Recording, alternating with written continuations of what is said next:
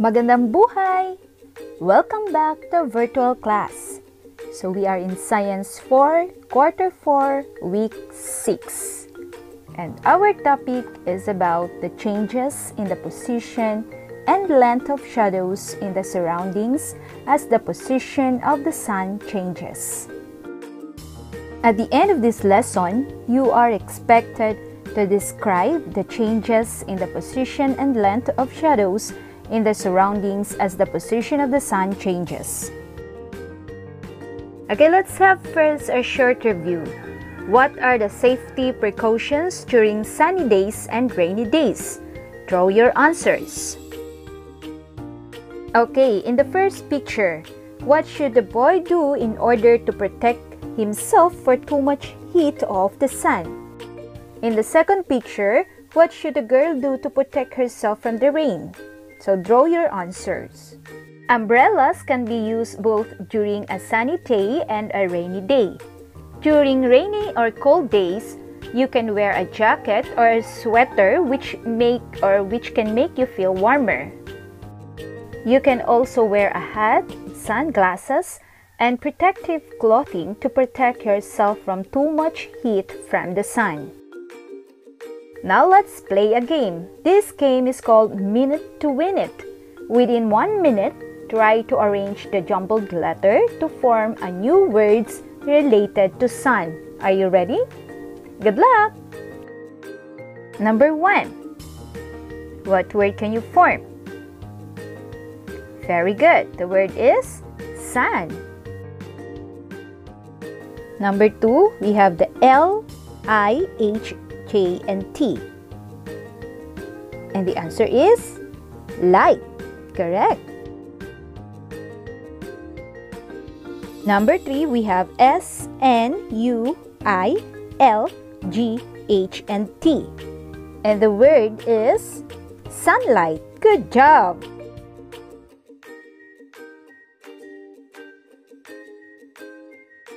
Number four, we have Z O N I R O H. And the correct answer is horizon. Very good. And number five, we have H A D S O and W. You can form the word shadow. Good job. So shadow is the dark area that appears when the path of rays of light is blocked by an opaque objects. Thus, shadows are formed when light strikes on opaque objects. So look at this illustration. So we have the tree, the sun with the sunlight or the rays of light, and uh, the shadow of the tree. So shadows are places where light is blocked. So, yung sunlight or yung rays of sunlight uh, was blocked by a tree, the outcome is the shadow of a tree. When there is no light, there is no shadow. As light travels in a straight line, then it is blocked with an object. There is a formation of shadows. So the object does not let the light pass through it. So shadow is formed when light traveling to a source is blocked. So in our illustration, the tree blocked the rays of the sun which caused the formation of the shadow. The position of the sun on daytime in relation to the earth changes. Thus, the direction of the rays of the sun also changes, so shadows change in position. As the sun rises in the morning or sets in the afternoon, it is low on the horizon. Its light rays slanted as they hit the ground. Thus, longer shadows are formed every morning or when the sun rises and the sun sets.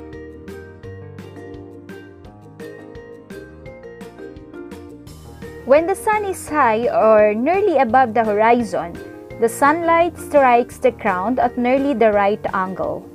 Thus, shorter shadows are formed.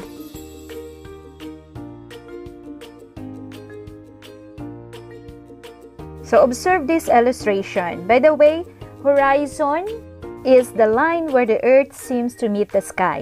So when the sun is directly above the horizon, the light rays of the sun strike directly above. Hence, no visible uh, shadow is seen on the ground since the shadow of the entire body would fit in its footprints. And longer shadows are formed during morning and afternoon. Because as the sun rises in the morning or sets in the afternoon, it is low on the horizon. Its light rays slanted as they hit the ground, so longer shadow is formed during morning and evening or afternoon. Therefore, the changes in the position and the length of shadows in the surroundings depend on the angle at which the sunlight strikes the object in the ground. Why are the shadows formed during the morning and afternoon longer. Shadows during the morning and afternoon are longer because the position of the sun is low on the horizon and light rays are slanted. That's why we have longer shadow during morning and afternoon. How does the position of the sun affect the shadow formation on Earth? Because the sun's position on the horizon determines the shadows that will be formed. Now let's try to answer our exercise 1. So write true if the statement is correct and false if it is incorrect. Are you ready? Let's get started.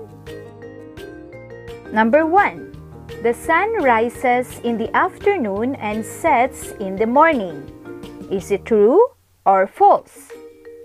And the correct answer is false. The sun rises in the morning and sets in the afternoon. Number 2. When the sun is directly above the skyline, the light rays of the sun strikes directly. Is it true or false? And the correct answer is true. Number 3. We see all the things around us because of the light from the sun. Is it true or false? Of course, the answer is true. Number 4. When the sun rises, the longer shadows are formed. Is it true or false? Very good. The answer is true. So every morning, when the sun rises, longer shadows are formed. Number 5. When the sun sets in the afternoon, shorter shadow is formed. True or false? And the correct answer is false. Same when the sun rises, longer shadow is formed. Number 6. The sun's heat and light does not reach the earth. True or false? And the correct answer is false. Number 7. Almost all living things rely on the steady heat and light of the sun. Is it true or false? And the correct answer is true. Number 8. Sun is made up of very cold gases. Is it true or false? And the correct answer is false. Number 9. When the light rays cannot pass through an object, there is a formation of shadow. Is it true or false? The answer is true.